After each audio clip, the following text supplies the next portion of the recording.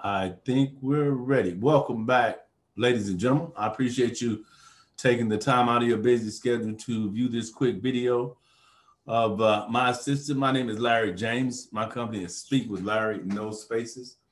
And what my company does is teach you how to set up the foundation of an online business while assisting you becoming more comfortable speaking about it.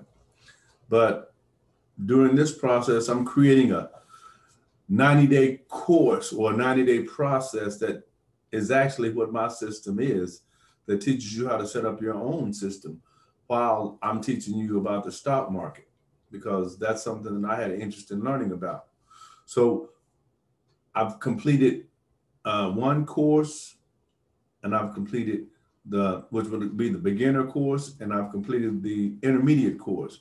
This course is actually the advanced course.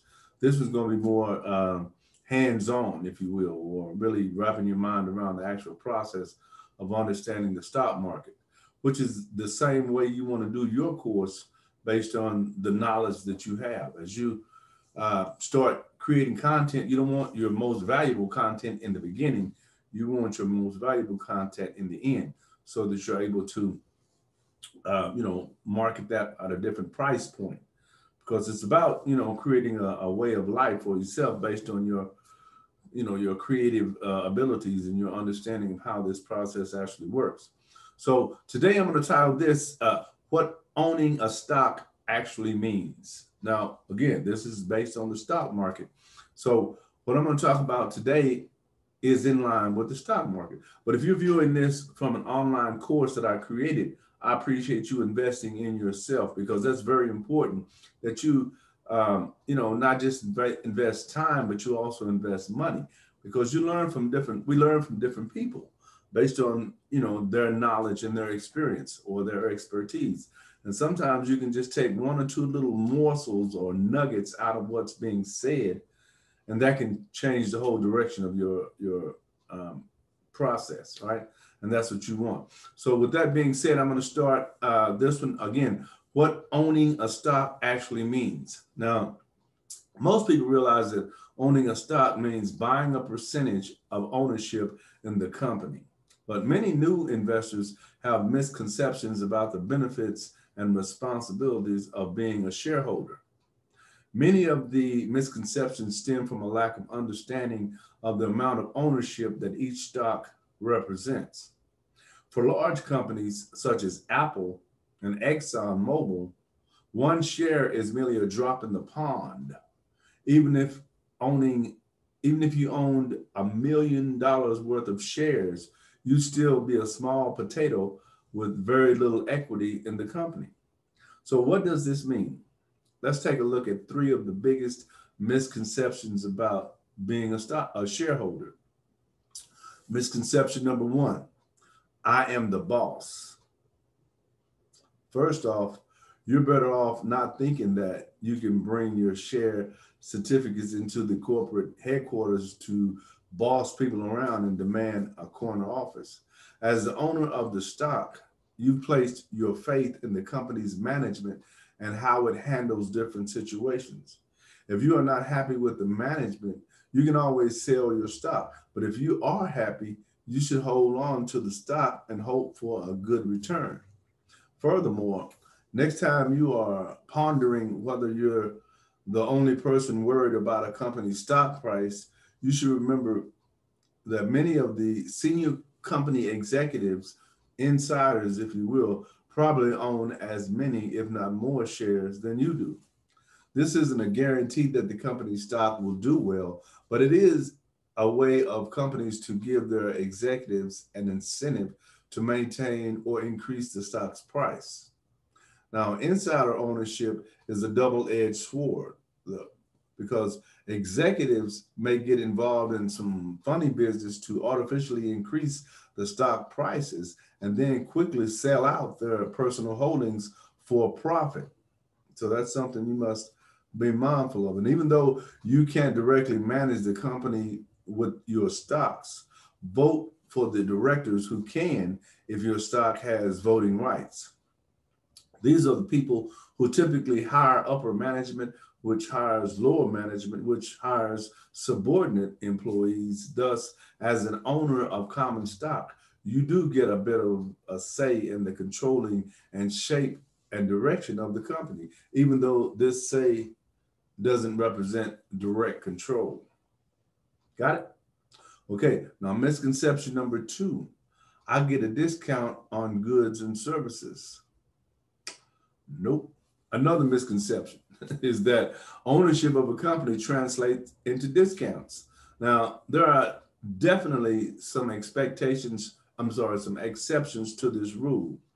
Berkshire Hathaway, for example, has an annual gathering for its shareholders where they can buy goods at a discount from Berkshire Hathaway's held companies.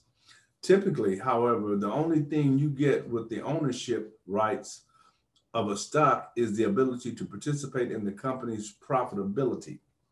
Why would it hurt for you to get a discount? Well, this answer can get a little complicated. After some thought, you probably will not want that discount. Let's look at it from this example. Let's say Ben's Chicken Restaurant, owned by Ben and a couple of his friends, and Corey's Brewing Company, owned by millions of different shareholders.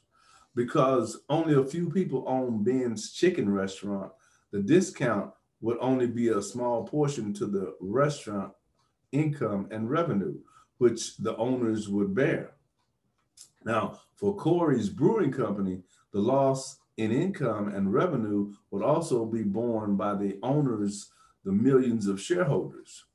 Since revenue is the main driver of stock prices, and the loss from a discount would mean a drop in stock prices, the negative impact of a discount would be more substantial for Corey's Brewing.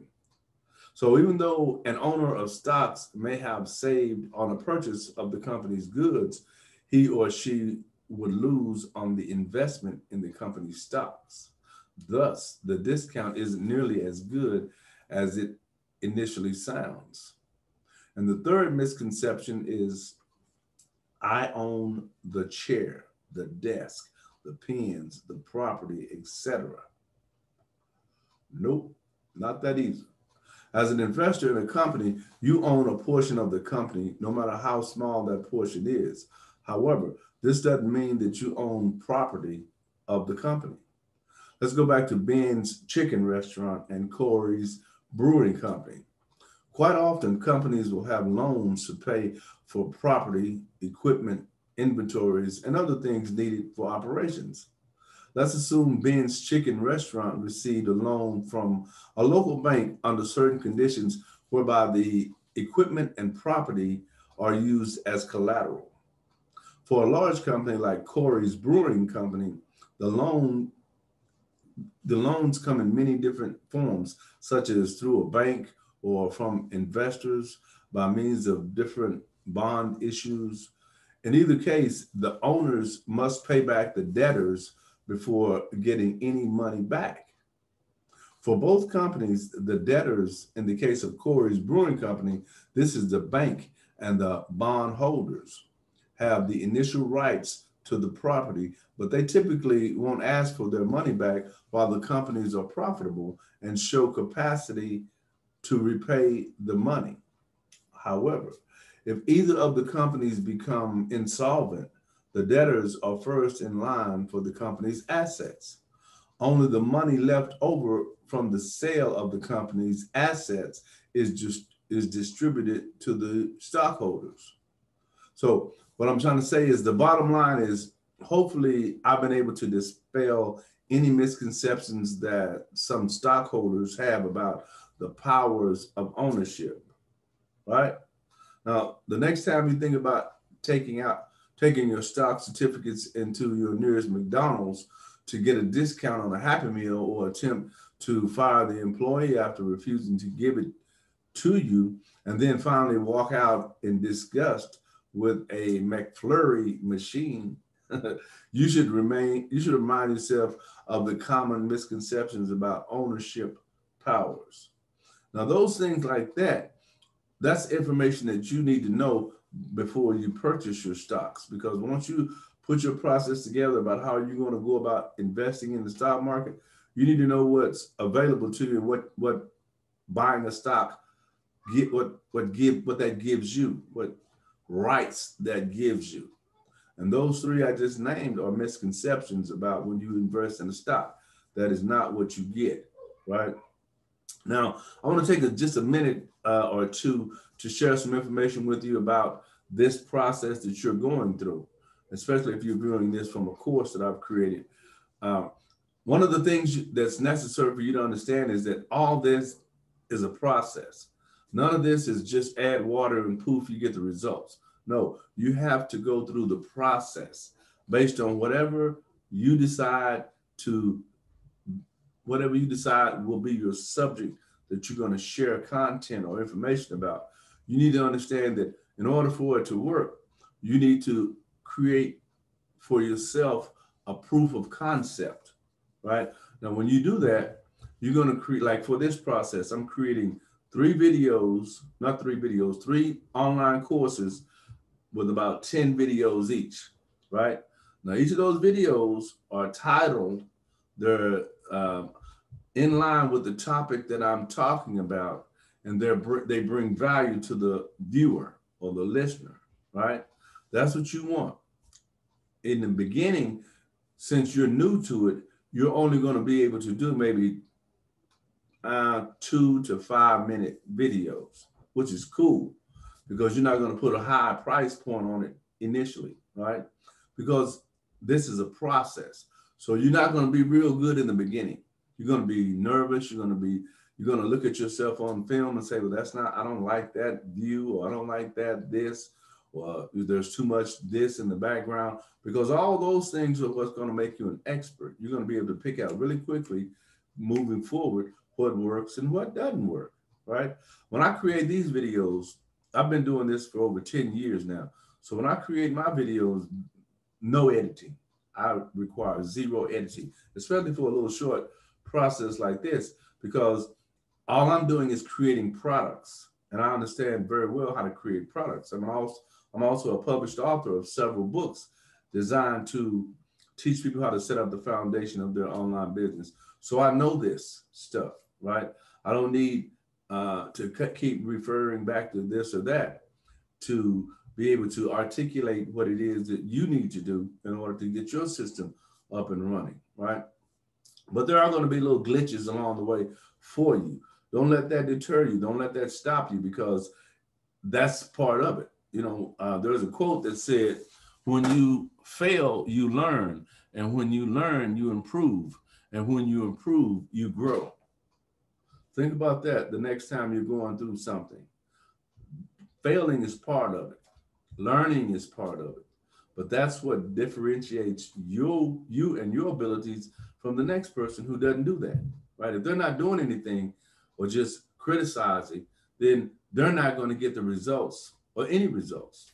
You're going to get the results as long as you continue to move the needle. Don't try to get it all in one bite, you know, like there's also a quote says, How do you eat an elephant? Small bites, small portions, right? You can't take big bites or big portions. No, you'll never get it done.